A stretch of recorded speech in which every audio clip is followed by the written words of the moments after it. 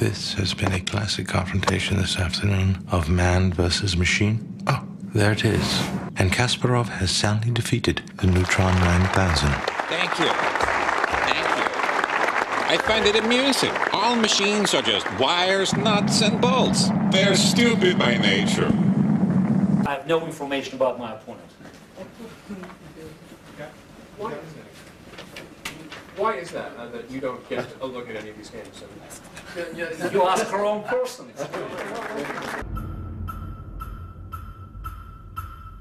When it starts to, that was really,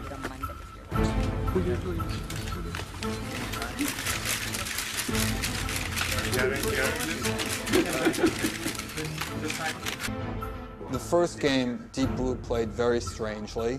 You know, like this is wonderful. Isn't life beautiful? We lost the first game. But if you look at us, if you actually see, see the team, how, how we actually behaving, we were actually a fairly happy bunch. The reason for that, we were sufficiently comfortable. We know Deep sufficiently strong. Kasparov knows the computer will not be hobbled by human weaknesses such as a lack of concentration. But Kasparov can enjoy human advantages, such as being devious.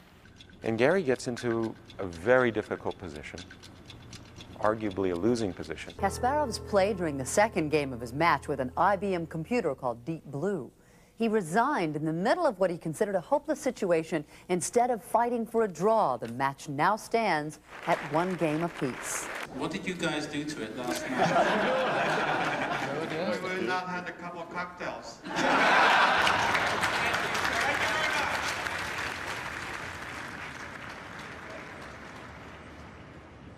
Then he came back and he said, How can this be?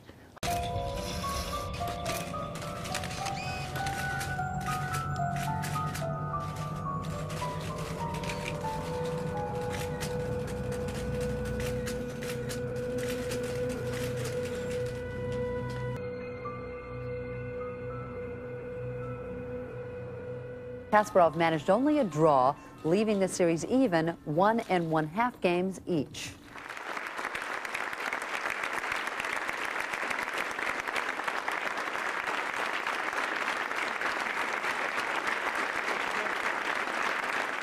Maybe he should, he should come to grips with the fact that Deep Blue can do a lot of things that he did not think were possible. And the IBM computer, Deep Blue, ended in a draw after five hours. Kasparov admitted he was too tired to go on.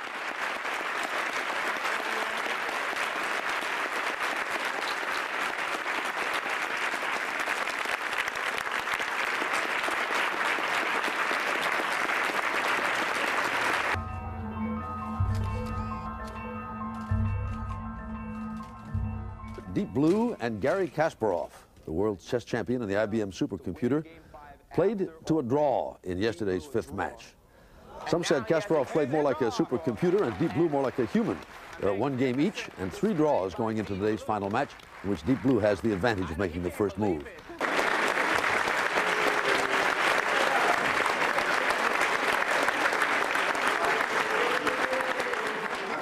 You speak almost as if the match is over, but there's a big, big game tomorrow. Are you going to be cautious tomorrow, or are we going to be looking to win with the black pieces, not tie this match up? I'll try to make best moves.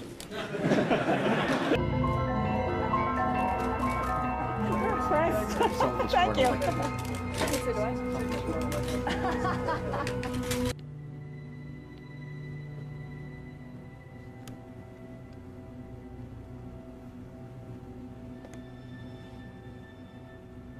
And I kept filming right until he made the critical mistake.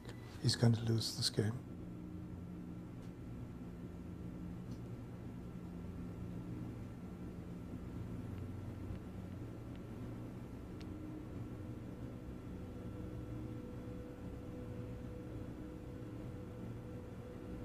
Deep Blue, the IBM computer, beat Garry Kasparov, considered to be the best chess player in the history of the game. And whoa! Deep Blue, Kasparov. The great Russian champion was not a graceful loser. I made one big mistake before this match. There was nothing to do about uh, further investigation of uh, computer potentials chess, there was one zeal to beat Garry Kasparov. And uh, when a big corporation with unlimited resources would like to do so, there are many ways to achieve the result. The IBM PR people told us that we should not smile.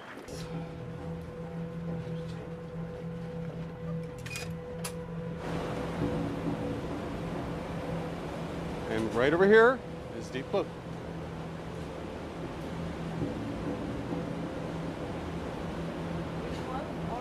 It says Deep Blue right there.